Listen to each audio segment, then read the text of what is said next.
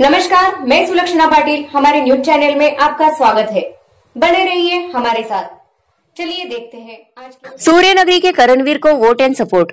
Colour channel पर इन्होंने big boss season 12 में अपने को प्रदर्शित कर राजस्थान के जोधपुर की अपनायत वाली पहचान को कायम रखा।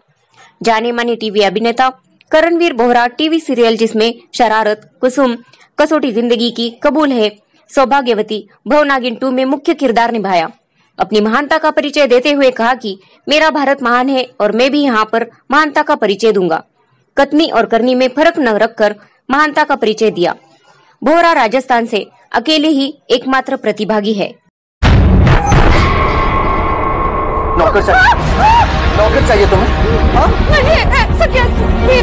कैसा कैसा कैसा नौकर चाहिए तुम्हें? टॉल डार्क हैंडसम हाँ? टेल मी टेल मी ये आप क्या कर रहे हैं?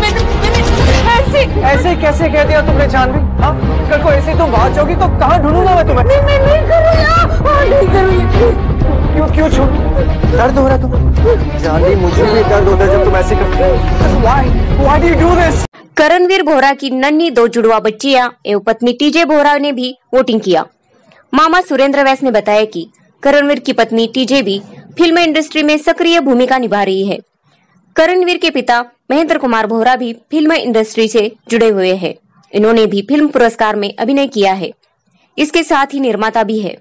इनके बड़े दादाजी श्री राम बोहरा, जो कि फ़िल्म इपास के सबसे लंबे अंतराल तक अध्यक्ष रहकर सूर्य नगरी का नाम रोशन किया। दादाजी राम कुमार बोहरा भी जाने माने निर्माता रह चुके हैं। Bureau report, Jodhpur. शिवांगी, सच्ची थी तुम। सच्ची थी तुम्हारे इंतकाम की कहानी। पर अधूरी थी।